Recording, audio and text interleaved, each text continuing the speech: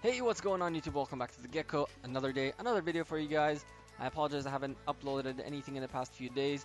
With this long stream and a bunch of work and a bunch of stuff that I had going on, life got ahead of me and now I have to catch up. Finally caught up a little bit and decided to make a video. This one's a little bit more geared up towards beginners and how to set up your talents.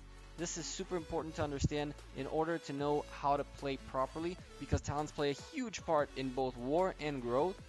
Basically, those are the two types of setups you should always have. One for war, both defense and offense, and the second one for growth, which is more important for the day-to-day growth, training, building, researching, and things like that. So the building and growing set in general has six most important talents that must be maxed out at all time in order to essentially maximize your growth set. Construction speed 1 and 2, research 1 and 2, and training 1 and 2, training speed 1 and 2 really. These six talents must be maxed out in order to maximize your output for growth. Now on top of that, there are many variations to growth that you can work with. Some people prefer growth uh, with gathering and army capacity in order to be able to gather faster with less troops. Some people prefer to have a mix of both gathering and also maybe ore production or gold production or strictly gold production or strictly ore production. It really doesn't matter. You can make all the combinations you want.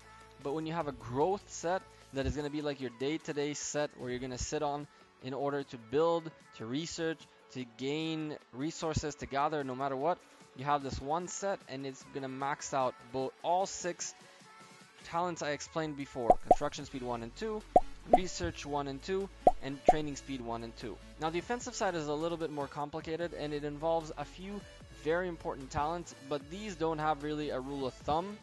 I have my way of doing things, but again, I'll show you all the possibilities. When you do offense, you're looking for a couple of things. Number one, attack. Number two, defense. And or preferably, health. Now, when you set up your talents, you have these very important talents that I usually like to max out. These are health and army defense. Army health and army defense, these are the two most important ones in my opinion. And of course, offensive squad in the beginning. Offensive squad gives you easy army attack, and the other four give you more defense and health. Now that doesn't leave you with that many points left. So some people, when they want to have like a max range and infantry attack set, they give up a little bit on the defense. They make sure to always have army health to the max. Army health is probably one of the most important stats, and it's so hard to get it from equipment against versus something like army defense. Now, it is always important to note that when you're setting up your talents, you must understand that they need to meet a specific purpose. It's either to maximize your range attack, to maximize your cavalry attack, to maximize all three, meaning you're going to give up a little bit on the defense and the offense and the, and the health, but you're going to have all three level 3 offense talents maxed out, which gives you the most damage possible for all three. Now, when you do growth, you will pretty much always have construction speed and research speed and training speed maxed out because those are the most important ones. And then you're going to play with it. You're either going to max out one resource and become a hyper.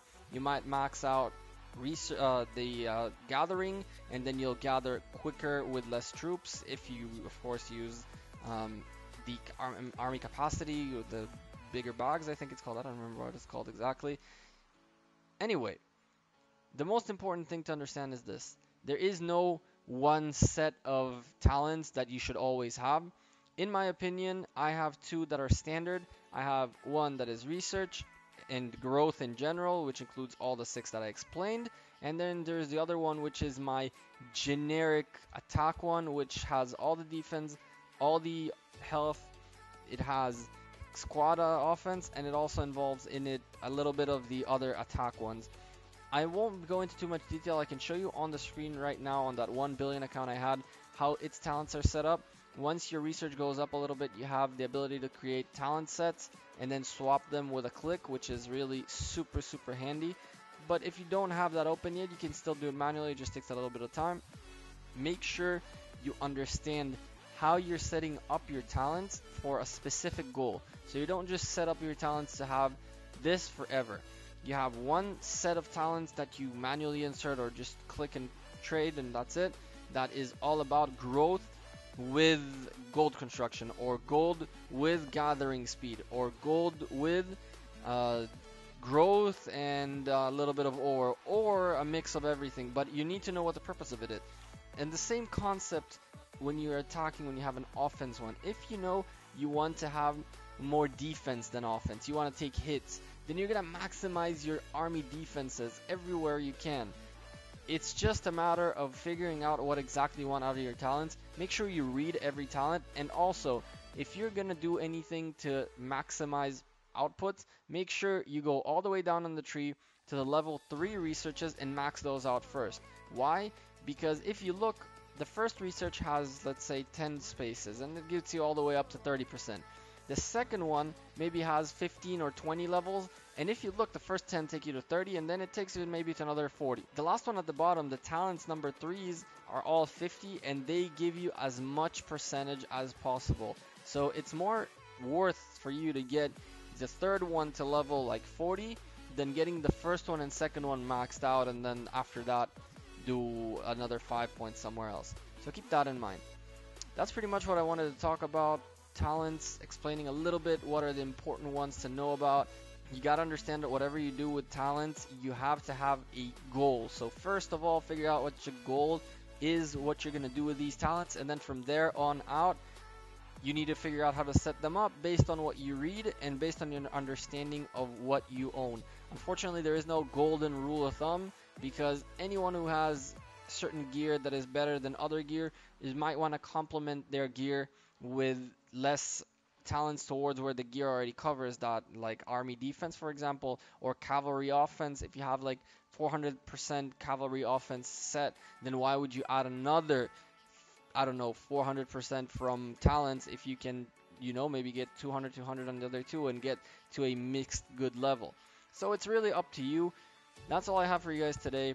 Thank you very much for watching. I hope to come with new videos very, very soon. I will most likely stream the Kingdom versus Kingdom, the new Kingdom versus Kingdom. If you haven't seen it yet, it's a three-way Kingdom versus Kingdom, so it's going to be very, very cool. I think it's this Saturday. If I'm not mistaken, it's this Saturday. And when I do, I will let you guys know that I'm on live and streaming. I'll stream for a little bit, maybe a few hours. I don't know yet. If you like this video, make sure to leave a like and a comment below. Subscribe to the channel and share it with your friends. More content coming up next week. I have a lot of cool videos planned out. I just need to really get to sit down and edit them properly. I'm not to just release something not done, well done at least for you guys. So yeah, thank you again and see you next time. Cheers.